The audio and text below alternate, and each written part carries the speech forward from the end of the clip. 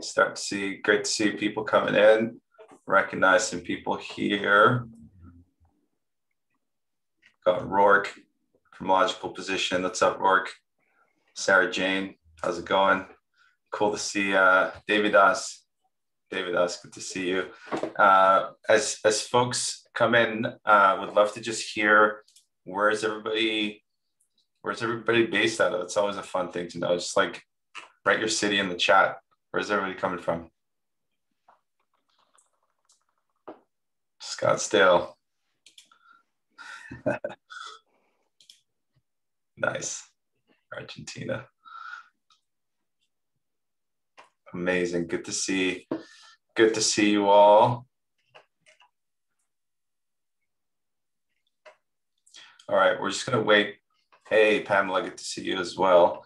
We're just going to wait a couple more minutes to uh, for everybody to join in. But while we wait, um, just in terms of format, so we're we're kicking off something new. Evan, if you want to share your screen, we can we can have the uh, the banner of the workshop up for this. So we wanted to try something new. We want so Evan has been uh, has been working with a lot of teams. I'll give a bit more of a background, but we wanted to start these workshop sessions um, to bring a larger audience into some of the things that we've been thinking a lot about, talking a lot about. And our hope is that this is the first of uh, many that we'll do. And so we'd love to hear from everybody that joins today what you liked about it, what you didn't like, what you'd like to see more of, less of, because this is definitely something that we want to expand on uh, and uh, and do more of. Um, Evan, you got the screen share? Are you good with that? I will be in a second. I'm running into technical okay, difficulties okay. here, but Reza, today, today feels like a good day, doesn't it? Like just overall. It does. It does. It does. It does. No, uh, I mean, until you said no technical issue, I was, I was happy. So many times I've had these, and it's just like it's brutal. Where it's a bunch of people coming, and if there's something that right. goes wrong, it's always so stressful. But uh, hopefully, so far, I, so good. I promise you, today will not be that day in this community. oh man. Cool. Uh, sharing now. Cool.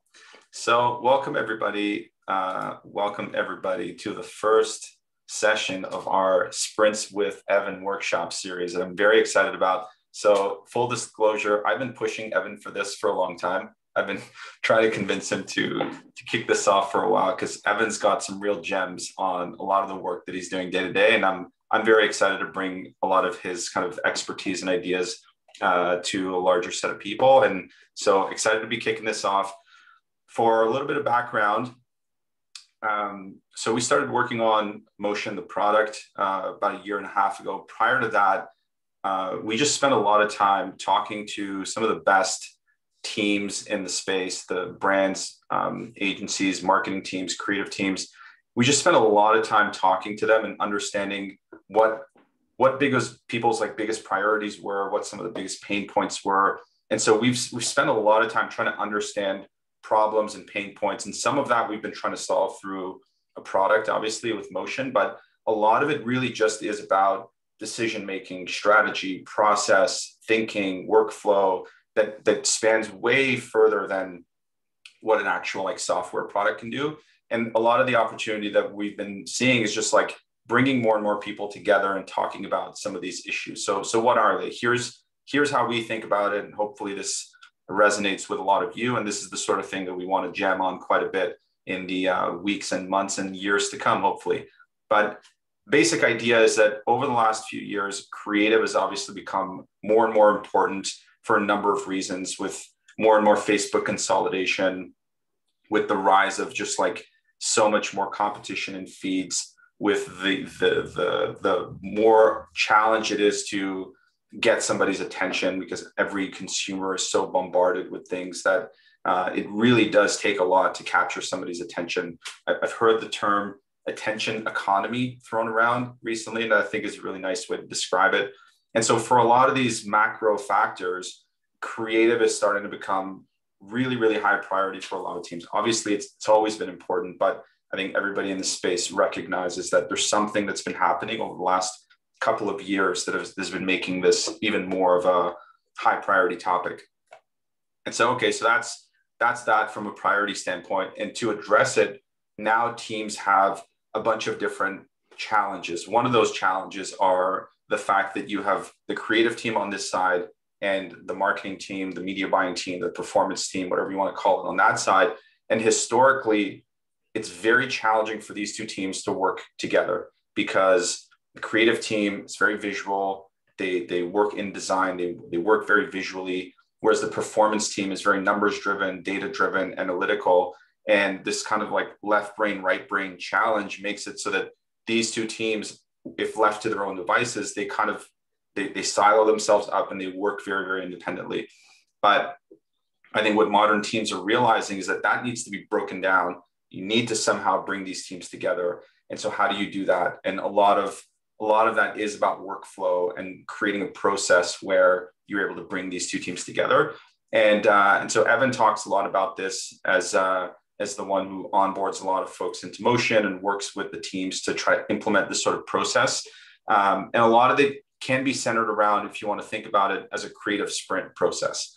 And there's a lot to talk about when it comes to creative sprints. And that's where we're hoping to center a lot of these workshops around the different aspects of creative sprints. So today, Evan's going to kick us off with an overview of the topic, diving into some of the fundamentals, and hopefully uh, in, in future sessions that we do, we'll, we'll go a little bit deeper. But uh, with that, Evan, I'll hand it over to you you can kick us off. And just also in terms of format, one thing I want to note is that we're, we want this to be as, as, uh, as um, interactive as possible, obviously. So if, if Evan is presenting, you'll see that I'm just going to interrupt him a bunch of times to get him to expand on something. If there's something that you like comes to your mind, uh, type it in the chat. We will have some some time in the end to just do like pure Q and A. But if if something comes to you, just like type it, and uh, and, and we'll get Evan to uh, we'll just kind of talk about it as you as it comes to mind. So feel free to shoot anything that uh, that comes over, and I'll have my eyes on the on the chat as well. But uh, Evan, you ready? I'm ready. I'm ready. Thanks right, for the intro, Reza. Really, really appreciate it. And ultimately, everybody here, I know your time is very valuable. So I really appreciate you taking the time. It means a lot. I think the very first thing that I'm excited about is like kicking off this process, like Reza had mentioned, just in terms of um, being able to dive into the workflow of how creative can truly make the impact that we needed to. Uh, and I'm also excited to see my name on a slide. Like that feels kind of cool. So uh, this should be a good process. In terms of my background and why I'm talking to this about you all, Reza talked, to, talked a little bit about how I'm helping teams specifically on motion and diving into creative strategy on what that can look like. And I know a lot of you are here today, so it's exciting to see you again. But I think the other side of things is I come from a media buying background myself. So just in terms of running ads across different channels, across prospecting and retargeting, that's what I do as well. So I feel like, especially for my, my media buying nerds here, um, I, can, I can resonate with you on that end. And then for the creative side of things, I'm getting more and more close to, to speaking with everybody like yourselves. So that's the intro there. When we dive into creative sprints a little bit, I think the very first thing is just to like set the stage of like what the heck is a creative sprint why are we talking about this why is it a hot button topic that people at motion specifically care about and i think where i can first start is like the topic of performance creative right i think when i say that it's something here that everybody inherently understands everybody knows that it means okay in my ads i'm running some creative but ultimately when we're talking about like the definition of true performance creative, I like to think of it as very much as a, as a creative asset, whether it be image, video, carousel, GIF, that list goes, goes on. That's ultimately developed to entice a specific action, usually a buy or a lead generation, right? Um, and usually in digital advertising.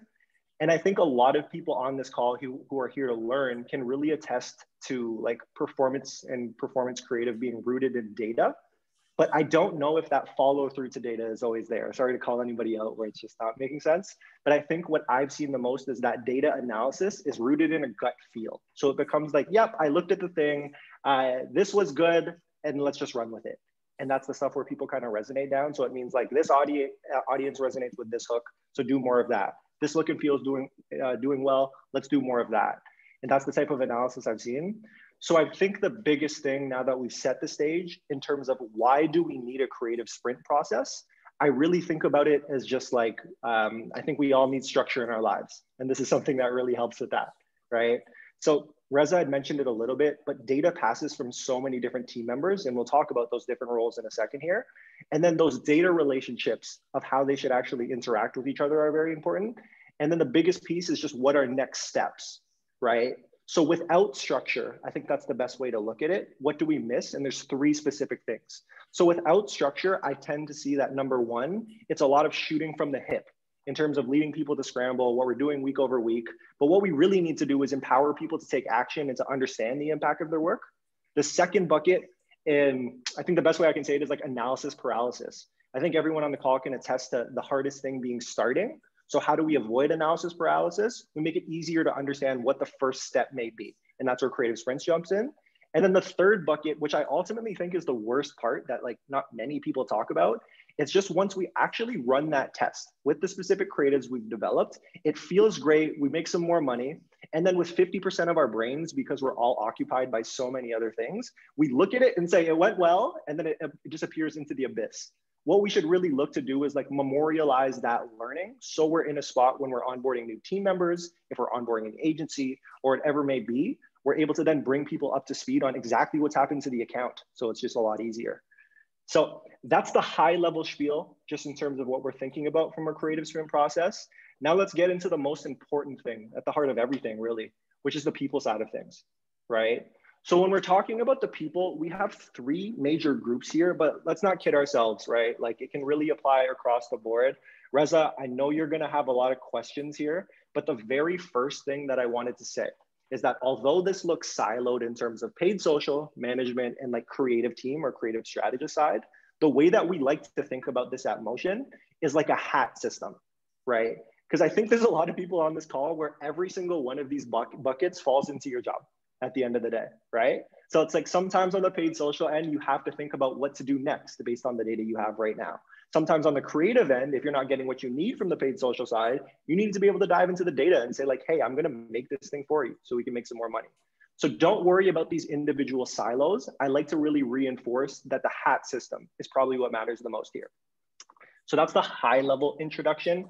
When we're talking about each of these individual roles, Reza, did you want to kick us off? Because you had started out a little bit talking about some of these roles, or I can jump into it. Yeah, so I mean, I, I I've I've been really fascinated about this piece because um, I, I I think a lot about just like org structure, teams, and how do teams operate, and it's really interesting seeing how you know from very very small teams where you just have like a couple people on board to larger teams that might have you know a couple hundred people on board. What does it look like?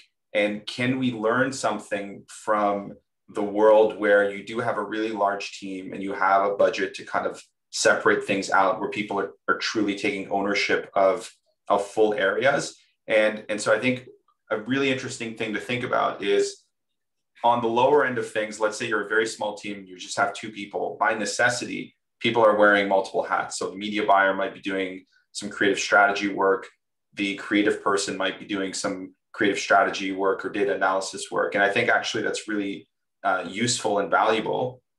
So I think one of my questions for you, Evan, is when you think about when you think about when the team is very small and out of necessity to have to wear many hats there's some pros and cons to that. The pro is that like you know you have somebody who sort of hand, have their hands in every in every in every pie and there's some value to that because there, there isn't the silo right? It's kind of contained in a single person.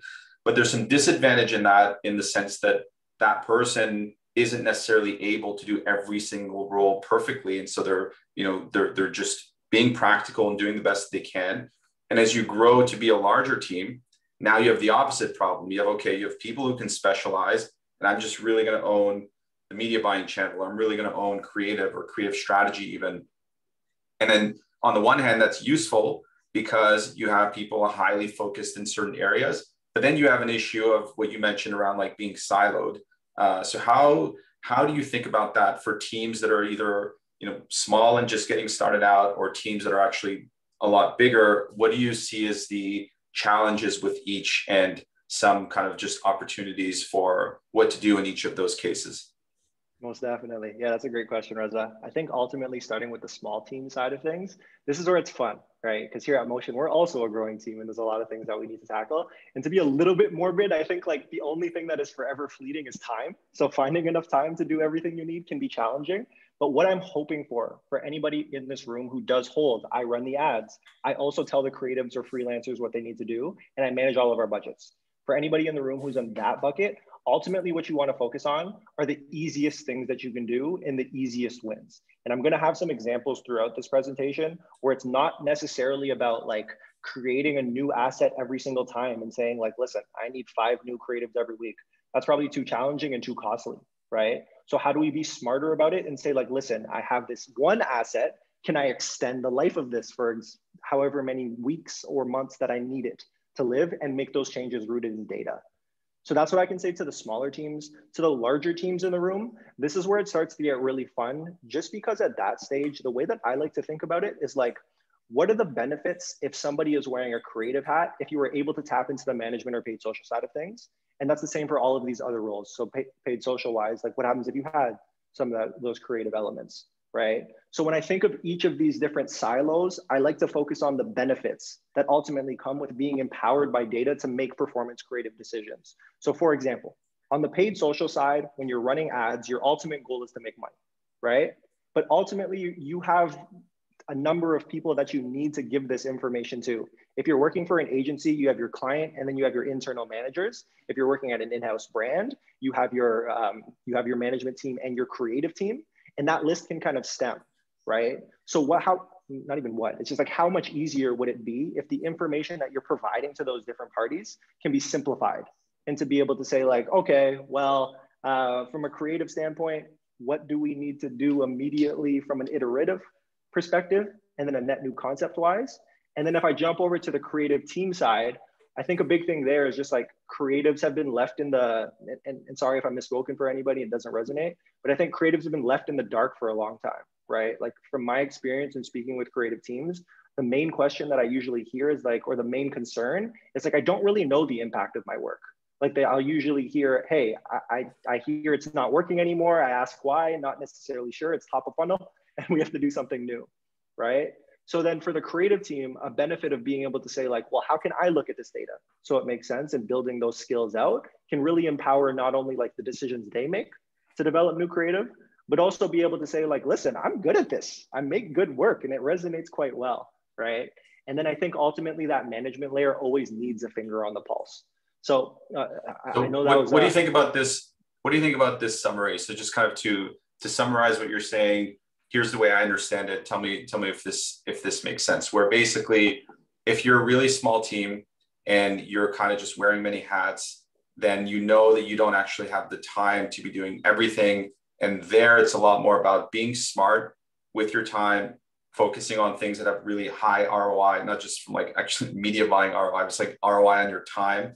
Uh, so high, low hanging fruit, high ROI activities, and just kind of stretching the most of your time that way that's sort of how I think about it on the small end. And when the team is a lot larger, sounds like what you're saying is the biggest goal there is to make sure that the information is moving. So the data is flowing from, from team to team so that the context of those learnings is flowing through the organization in a way that doesn't get trapped somewhere and people can make better decisions. That like a good way to kind of frame what teams that are on the on the smaller end and the, and the larger teams might might want to think about it this way. Very good way. Very good way. Thank you. Nice. I like that. Awesome. Perfect. So now that we've covered a little bit of the introduction to the sprint side of things and the team members involved, I think it's important that we dive into like what sprints actually are now, right? And two major components of sprints.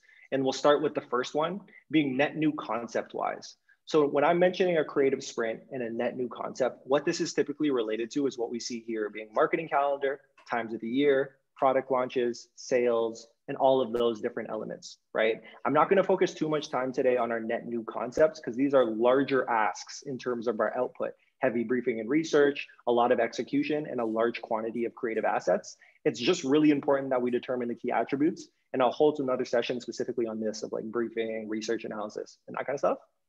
But the part that we're going to spend a bunch of our time on is specifically within sprints on the iteration side of things. So this piece is really related to the ongoing and structured approach to performance creative workflow. Um, fancy way of just saying like, how do we set a specific cadence, whatever that would look like to your brand or agency, on where we can say, okay, how do we create a light brief, involve the necessary people so we have focused execution? And then we have a low quantity of creative assets, but they're very tailored to what we need. So these are the two approaches. And when we look at it from a, uh, not even a timeline perspective on just like the, the work required from a briefing and execution standpoint, that's why we do want to focus on iteration first because there are a lot of easy wins there. Okay, sweet.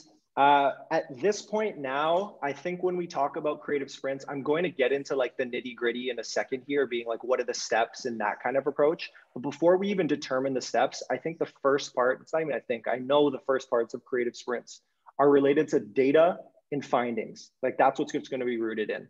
So at this point, what I'm going to do is I'm specifically going to use motion. There's no pressure at all to use motion by any means. This is just my preference just because I have it here but anybody can do this just within their um, pivot tables, downloading data within their Google Data Studio reports and automated grouping and those pieces. if you have any questions about that, just let me know after the call.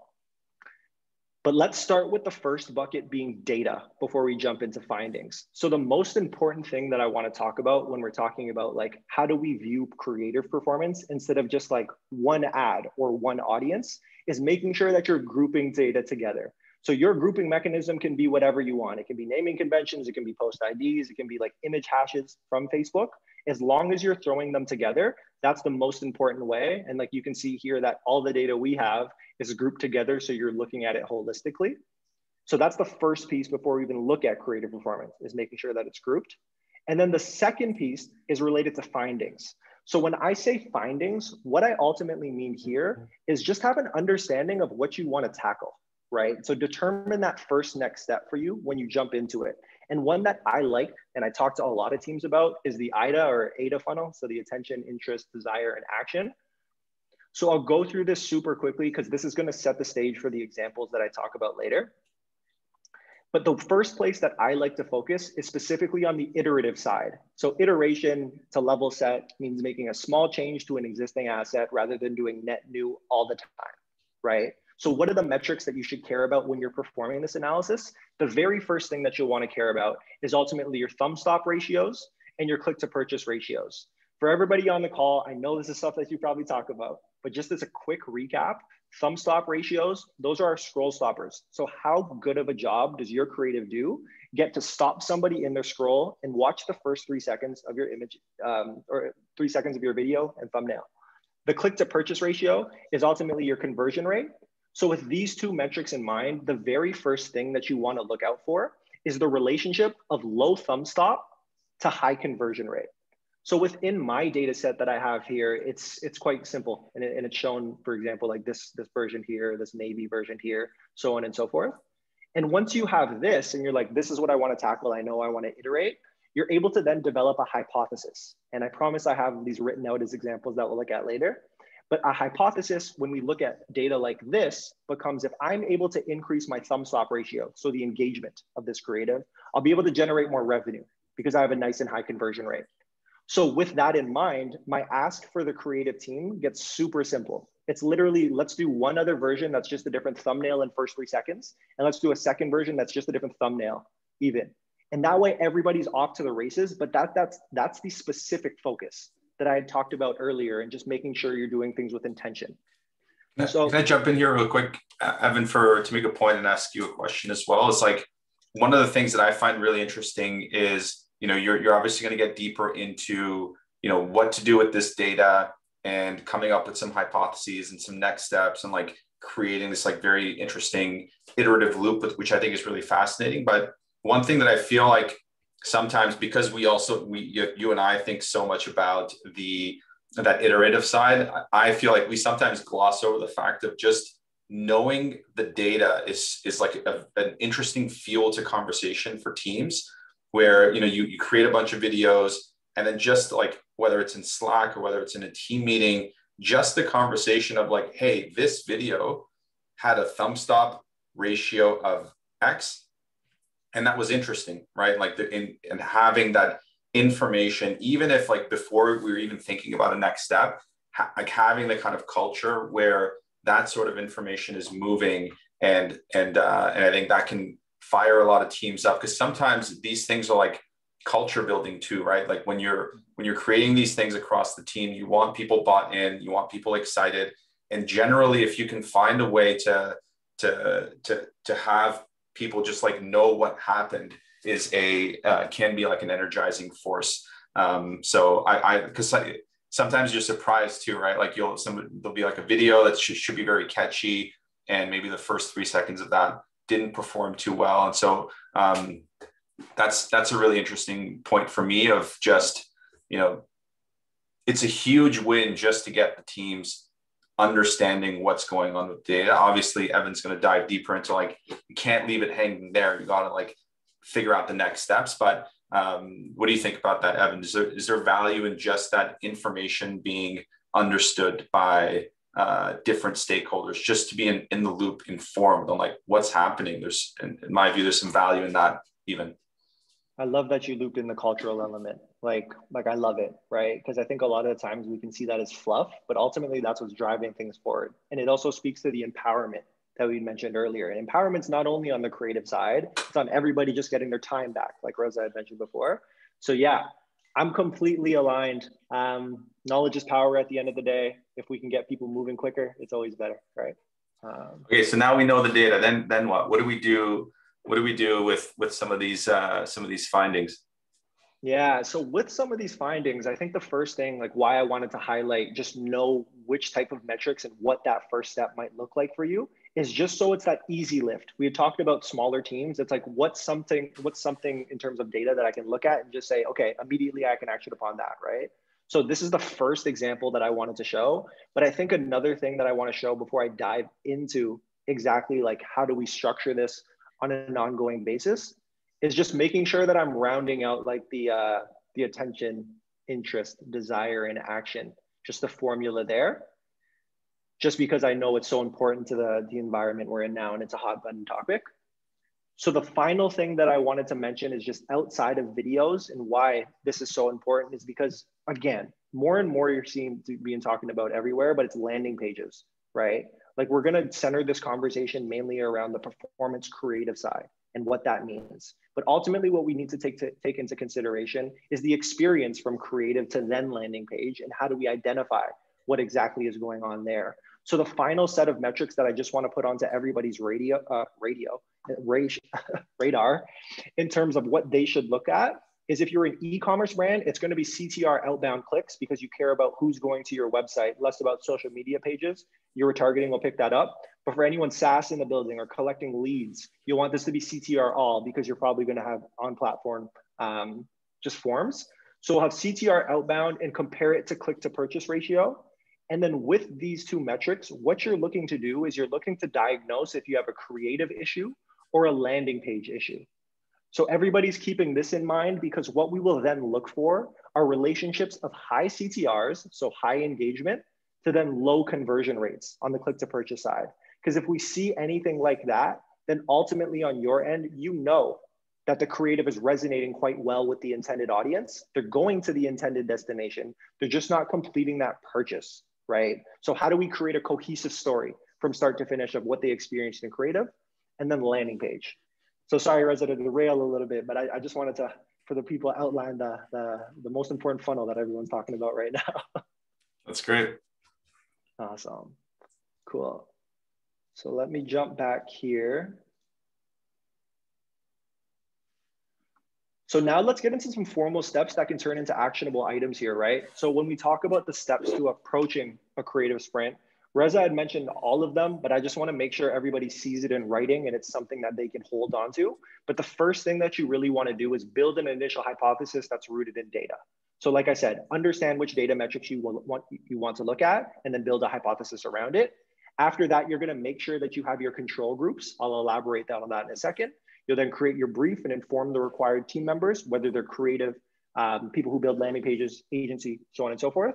And of course, you execute and recap and then when we think about before we like how we actually structure a creative sprint, I think another part of this that I that I get a lot in terms of questions is just related to like what is the ideal cadence, right? Like typically what I've seen, it ranges from seven to 14 to 30 to 45 days, typically, right? And what I'll say here is like the first element when we talk about testing, it's very spend dependent. So um, anybody in the room, like you'll probably know based on your spends where you should land. And what I usually see is like a seven to 30 day window. And then from a performance creative creation side, and what I mean there is like the creative team who's creating assets. I typically like to allocate like seven to 14 days. So give them time to, after they receive the brief, then create the additional assets. And that's what the timeline will always look like. So you're briefing on day one, making sure that you're giving your hypothesis, determining your required output. You then allow for the creation time, whether it be iterative or net new focus. You launch, so you're running all of your creatives for that set, whatever it may be. I have a 14 day cadence here. And then you're recapping and prepping. Recapping meaning are we validating our hypothesis? And then we're prepping our next creative sprint. So at a high level, that's when we're thinking about those timelines. Uh, I think the best thing now is to talk about what an example of this could look like. So here we go. In this first one here, this is an example of my week one sprint kickoff when I say week one for everybody on this call, this is just like an arbitrary value, right? Like it could be 14 days, it could be 37 days, it could be whatever you want, right? So in this case, what I've done is, is I've used the example that I just spoke to you all about of thumb stop ratios and conversion rates. So in this, I've developed a hypothesis that increasing thumb stop ratios, but maintaining conversion rates will lead to additional sales. So basically what this is doing, it's making sure that I know the metrics that I need to look at. I then develop a hypothesis against those metrics. So I'm easily taking that first step. And then I'm making a miniature brief that's still rooted in data for the creative team and everyone else to digest. So the example that I have in this brief, and, and, and mind you, um, I, I, made this to fit slides more than to, to actually action upon. So uh, that's one thing to note but it's the initial asks that you'll always want to include, being iterate on the first three seconds for the following videos. You will then also want to mention your dimensions or any other context that your brief does require. And then of course, you're going to have your actual, yes. Sorry, one question for you. Just, just, you know, it, it might be obvious, but just, just in case to, let's like understand this hypothesis a little bit. Why, why, why is it that an increase in thumb stop ratio uh, would increase to additional sales. Like you know, for this, in uh, maybe it's obvious, but let's let's just make sure we understand it. Like what what what is it about this hypothesis that, if that's true, would would lead to initial uh, additional sales? I can do that. So I'm just going to jump back again. The motion, I think it just for me, I'm used to it. Basically, is it? So that we send more people into that funnel, right? Like people are scrolling past the video, but if we can stop more people based on higher engagement in those first three seconds, we're effectively like increasing the volume of people that go into this funnel that we know has been working. Correct. The primary word is engagement, right? Like ultimately your your creative is being more engaging with the intended audience from a grouped perspective. So increasing this is, do, is doing exactly what Reza had mentioned. If we have more engagement, we know people who do click are ultimately purchasing. So if we're able to get more engagement, more sales. Awesome. Awesome. Cool. So yeah, like, like I was mentioning on the briefing side of things, everybody has their own techniques. And like I said, I made this just to be, to make the point more than anything but I've been able to include the ask. You can include any additional details that are required. And then you're providing that key direction rooted in data, right? So I've just provided the examples of the videos that, um, that people will be receiving. So these are my pictures of them, of course. It's just like these are the, vi the videos uh, that we need updating on. And then for the Scented with Love version, it's simple. The first version, we're gonna update three seconds in thumbnail. Thumbnail, I want it to be sold out consistently. Three seconds, I want add text overlays on top of there. And then the second version is just updating thumbnail. So it's just these simple asks that we can make that it's literally, and this is where it comes into whatever you want to do, right? Like I think it's if you want to pull it from a random value prop from your value prop doc, go ahead and do that. If you want to just think of it on the fly, it fits into this format. Perfect. Everybody's expecting it now. So we can go ahead and do that.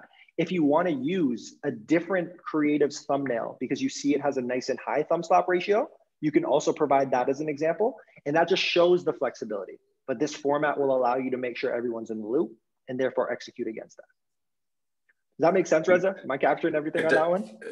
It does. And I, I think one other thing too is that like once teams get into the habit of sharing information with with one another, I think it would be a win for teams to have some like you mentioned the term memorialized learnings, which I think is really important, where with a lot of these kind of week over week iterations, the more shared knowledge there is as like a baseline, as a context across the team, the more teams, like individual team members, will be able to, to come up with ideas and solutions that really hit the mark. So, for example, everybody on the creative and the marketing team, there is no reason why they shouldn't know, for example, which which videos have the highest thumb stop ratios. Like in the last few months, everybody on the team roughly knows that like these what we did here here and here from a from a thumb stop perspective did really well. And so you have that shared understanding that shared learning on the team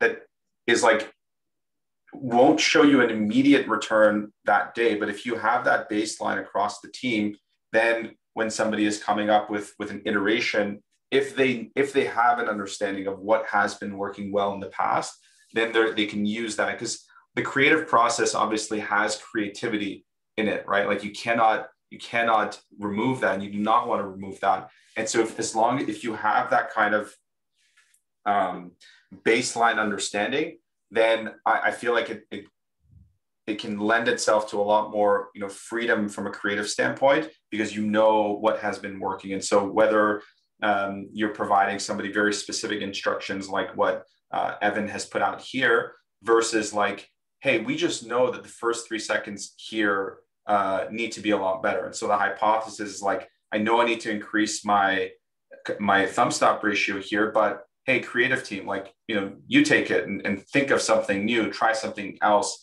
And I think if that team knows historically what has been working well, what has not been working well, those kind of things like you incorporate that into the process and all of a sudden you see people are able to to start flying on their own because they have that that shared knowledge. But when the team is shooting in the dark and being like oh okay this first three seconds didn't do well. I wonder why. I wonder what about it was that didn't that didn't do well. What, were there other ones that are similar to this that did do well or didn't? Um, i think it's really important that as like a backdrop to a lot of these week over week iterations the more context that is able to flow, flow through the team, the more you'll see that the that the impact of these iterations will will have like a really really positive effect if that shared understanding and learning is uh, is incorporated across the team. Yeah, I'm 100% with you, Reza. And I think like just to springboard off of the two, uh, uh, off of what you mentioned, I just have like two additional points there. So the first part is just like carving out the time and headspace to be able to say, well, like what are we going to do about that thumb stop ratio right? So i think that's where that sprint cadence we're talking about now allows you to sit down and say okay every 21 days i can look back and actually give myself the headspace to say what happened here right? Like i think that part's important without it just kind of slipping by the wayside and you going back to it randomly all of that. And then the second part is just internally um, for all of your teams it's just aligning on like what creative metrics matter to you the most and then training people up You'll notice in these screenshots that I've added, I've just kept it super simple. Like I'm not giving anyone like more information than they need to overwhelm them. It's just like, how do we train somebody on the things they should care about? Like Reza mentioned, thumb stop being the most important if we're talking videos, but they just become familiar with the metrics and then slowly they'll become familiar with next steps. So that's just a little bit of a context that I just wanted to add on top of there too. So, so you got your you got your hypothesis, you have your learning, you've come up with an ask, you have two very specific um, guidance that you're offering to the creative team and very easy to action on, should be relatively easy to implement. And then uh, what happens from here? This is where my version of memorialized comes to life because I think memorialized, like as I hear you speak, is a very uh, like broad term. It could mean something for anybody, right? But in my version, it's like related to the sprints and tests that you're running to be able to say, I did this thing, what happened, have this learning live on forever right? So if this is our hypothesis, this now moves into the next step of like validating our hypothesis after we've executed. So this is the recap stage. So you'll see here that I have my week one recap. And the first thing that I have is just my validation of hypothesis. So here, what the assumption is, is I'm looking at um, my lavender hall hallways creative and the change I made, which produced a second version, so a V2, and produced a V3 option. So you would have noticed earlier in this presentation, and just to make it simple, I'll go back to show everybody. You had noticed that I had mentioned a control group, right? So the control group is now the proper time to give you the definition, is the version that we would be able to create the iteration off of. So when we talked about the hypothesis of increasing thumb stop ratio, but maintaining conversion, my control group became this version right down here, which was the original, meaning that it ran for X amount of days, right? Then the second thing that we wanted to do is be able to say, okay, now version two and version three, let's plot those in addition to what my control group was. And then the final thing that we needed to do before actually analyzing the data is making sure that we align the date ranges with whenever version two and version three went live. Because that part will ensure you're looking as close to apples as apples as possible. And once you get to that stage, you're finally able to say to everyone, did we do a good job or not? So in this case, as a reminder, what we wanted to see from the control group was an increased thumb stop ratio, but maintaining the click to purchase ratio. So we can see in V2 here, we were able to achieve that without any issues. Amazing. Pat on the back. Let's continue down that iteration path. Whereas with V3, the thumbnail change didn't lead to the same outcome. So click creating like a clickbaity thumbnail wasn't the route that we should lead into. So this is the way that we're thinking about before jumping into week over week, 21 day over 21 day, going one to the other. You want to give yourself that time to be able to recap what has happened from that previous week. And just to give a little bit of context on workflow, because I know we have brands here, I know we have agencies in the house as well like this is also a great way to not only speak to your creative team and just get them to say like listen you did a great job or this is where we're at it's also on the client end or the management end just to keep everybody in the loop and giving them again knowledge is power the information they need. So maybe I, I like what you said about memorialized and, and your your explanation is is very very specific. Maybe one way to think about it is like you know you have at the high level there's a set of information that's like known team wide that, hey, this sort of thing works, this sort of thing doesn't work, right? And you have that understanding. And that's maybe one layer of memorialized learnings. Um, but it nobody can really explain exactly why or what is it about the change that, that did that or was it like fluke for example like maybe maybe it was some other factor but the level that you're describing is like it's going a little bit deeper it's it's isolating something out so that when you when you memorialize that learning you can be very specific with with learning and so if you if you document these and you have a new new team member joining they have this like wealth of information that they can go back and say oh we tried this we learned this this now goes into our like bank of information uh, that makes it really easy to, to come up with new ideas. And so i really like that um, because we're giving specific type of, of knowledge. Yeah, most definitely. Because like right now, we're giving everybody like just framework of how to think about these week over week sprints, involving different team members at different stages, all of those different things. But ultimately, you all have the most context on the accounts you work on, right? So if we're looking every 21 days and you have these memorialized sprints, and someone asks you like, "Oh, images didn't go well," or it looks like images worked really well the week of um, I don't know February 10th, 2019, and he says like, "Oh, that's before iOS changes." you know, and it's just like bringing someone up to speed and being able to give them that context. So all of this stuff will memorialize it, but ultimately what's happening here is that you still have the context to make the decisions that humans need to in these situations. You know what I mean? Very good. To keeping an eye on time, uh, I think Evan, you probably have a couple more slides, right? And one thing I wanted to mention was if uh, if people want to start, either if you have any questions, post them in the chat box, but also one way that we've done this in the past that's a little bit more fun is you can you can hit the raise hand button. Hopefully everybody has that, and I can do allow to talk from my end, and you can just jump up and uh, and ask your question yourself. And so if if if uh, folks have questions like that, please just um, hit that raise hand button or dump your questions in the chat box, and that way we'll know how much time to budget for for the questions. But uh, don't hold back. Awesome. Yeah. Uh, when those are, as those are coming through, I think a big thing uh, where, where a lot of time people will ultimately spend is still related to like next step or first step, right? Because ultimately, um, people on this call, and, and we can dive into it further on other sessions like this, but it's just understanding those data relationships. Like the first decision that we made was just saying thumb stop ratios and conversion rates are what we want to tackle, right? So having a laundry list of stuff like that for yourself to look at is always impactful. So I have a bunch of other examples just to show and like get people's juices flowing more than anything. But like another way that you can just start to think about this is for week two, I've said investing more money into image assets will generate more dollars. So essentially what I've done, and I know it's a little bit small, is just I've compared the different um, or creative types ultimately that we have and what we're spending money on versus where we're making money. And if we see images doing well, it's like, cool, that informs our ask and we can make these type of changes. So being able to develop whatever hypothesis you want, there's a laundry list that we can give you and I can go through a couple more as well.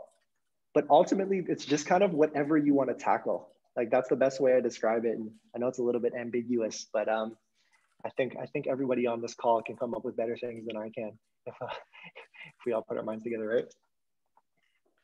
Yeah, I just I dumped in the chat too. One of the other things, if if somebody if uh, if we don't have questions, one of the things that could be interesting just to maximize uh, learning from everybody here, if there's something of like a win process wise that you may have implemented on your team, stuff like this, stuff that are like small wins that but had a really good impact on your team and on your process. Would love for you to come up and tell us about it. I'd love to hear about that, and I'm sure other people uh, here would also benefit from that. So if there's anything that you and your team have implemented recently with regards to this problem area that has done well for you, uh, would love would love for you to come up and tell us about it.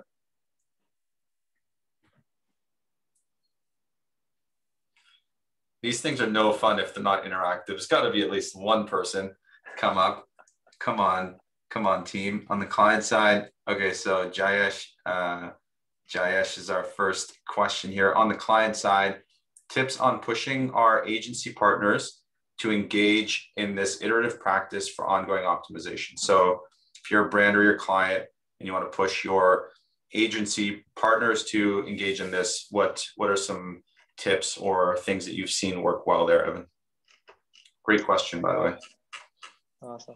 Jay, it's good to see you, man. Um, ultimately, like with this one, eh, as cheesy it is, it's like the knowledge is power thing, right? So it's just with these hypotheses, I can send the list out after. It's just understanding what data points to look at, make it a lot easier to have those conversations, right? So if we know we're looking for thumb stop ratios and we see thumb stop ratios down on the client side, you need to push your agency to say like, why are these down and why are we not doing anything about it? So I think the data piece will really ensure that you're actually able to, to hold them accountable to that. awesome, man. Awesome. Um, so, so that's the first piece, just related to the data.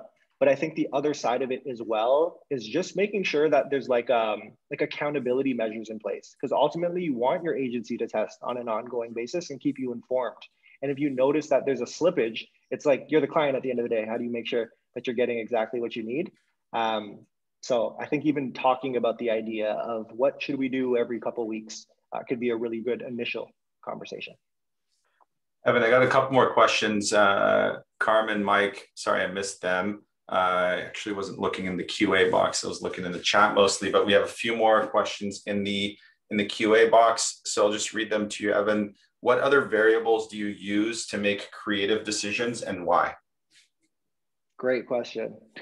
Carmen, it's good to see you too. We talked the other day. I think a big thing here is just like, um, for me, I'll always tie it to bottom line and whether that bottom line is coming from Facebook or coming from GA, coming from a third party attribution software, like it's always tying it to that bottom line. So think to think of click to purchase is just ultimately that revenue side. So that's why you'll see me compare things like Thumbstop to that bottom line, CTR to that bottom line, right?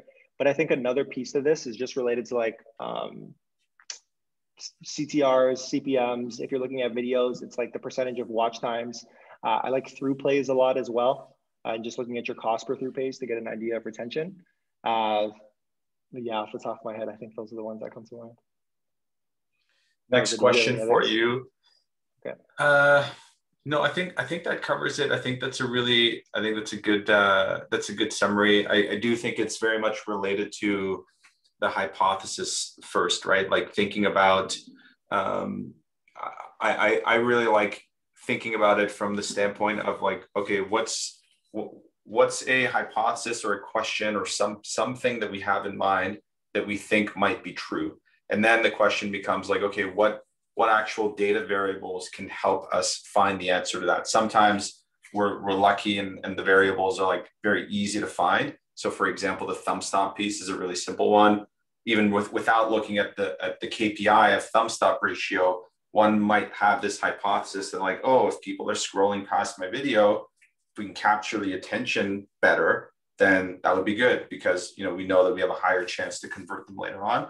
I really like thinking about things from that standpoint.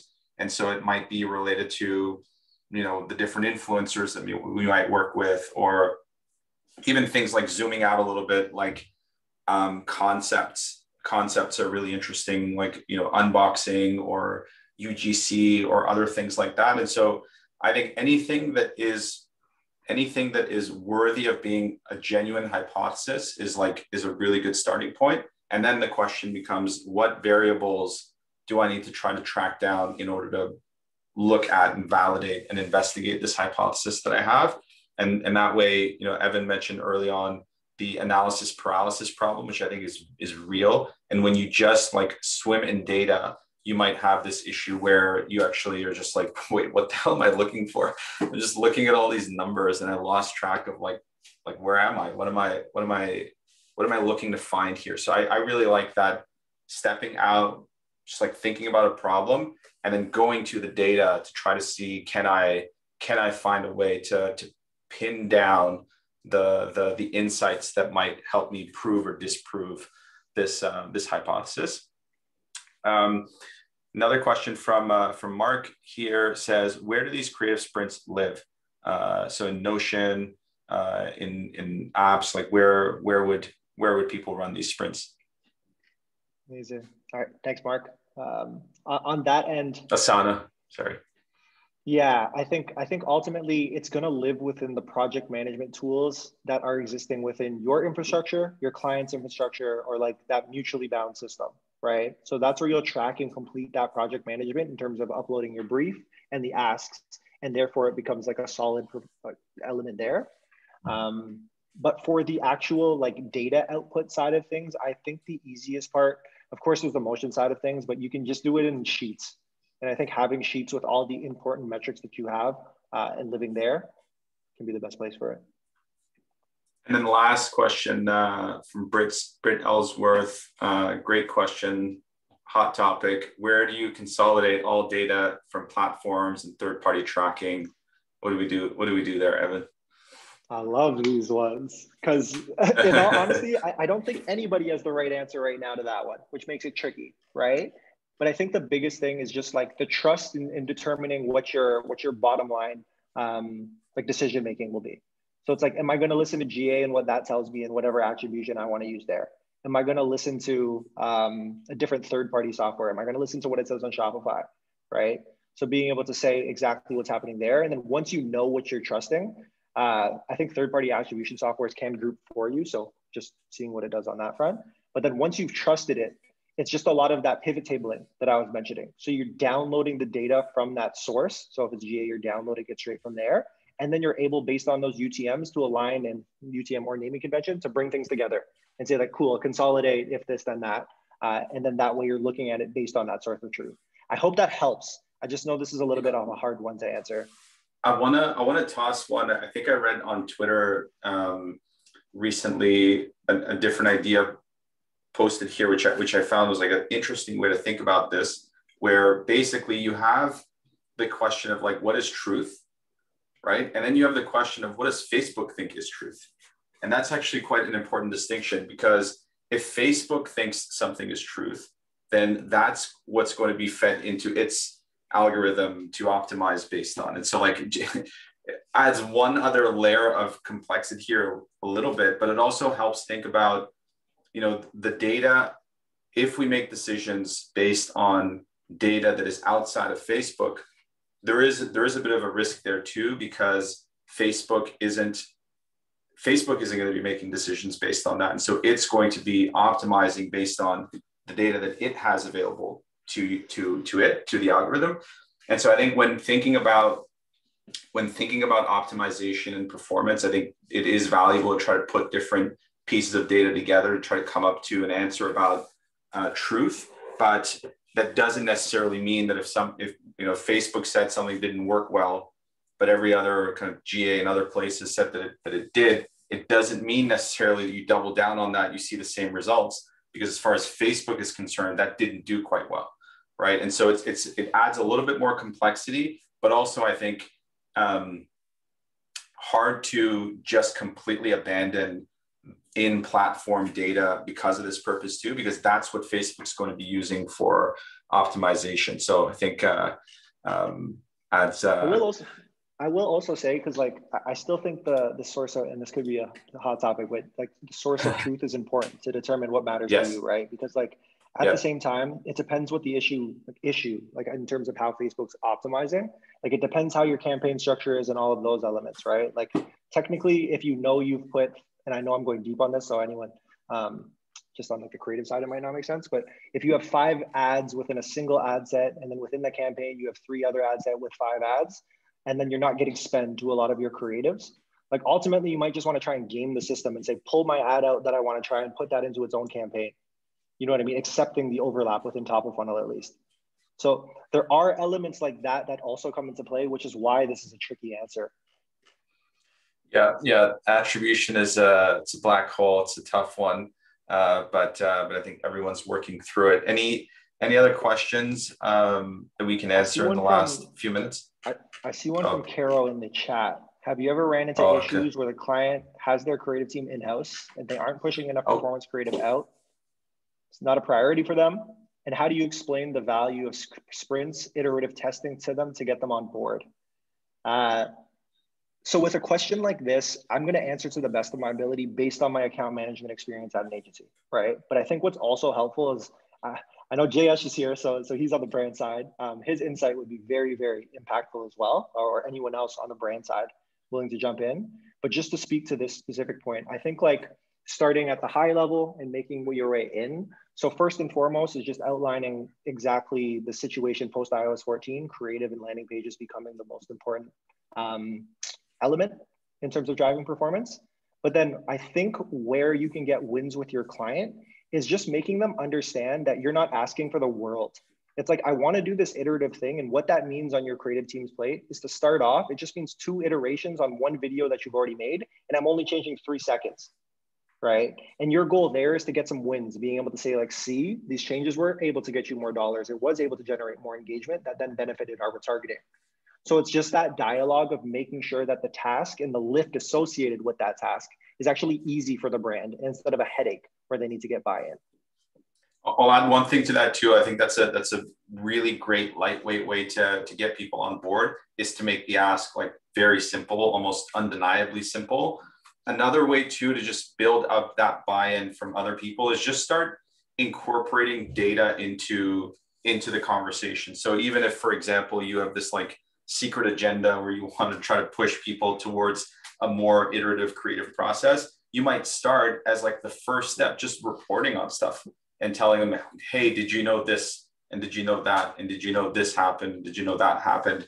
And i think once you start incorporating these like insights into your conversations, it's almost natural for people to want to like the, the curiosity in in people might be like, okay, well, you know, if if this is true, then maybe we should try something. And you have uh, and you have uh, this idea where you're you're not even suggesting uh, that we should iterate, but you're just kind of showing the data that like, hey, here's here's some of the things that we found, and maybe that invites people to contribute ideas of like, oh, okay, well, if this is what we're seeing, then maybe that's something we should we should try. So I think starting to incorporate uh, data and insights into your conversations is probably a good way to prepare the groundwork for people to to want to do more of this creative iterative, iterative testing and then yeah like making it easy and lightweight to do i think makes it uh, makes it great and so with that we are up on time really appreciate everybody uh, joining i think we'll have some sort of uh,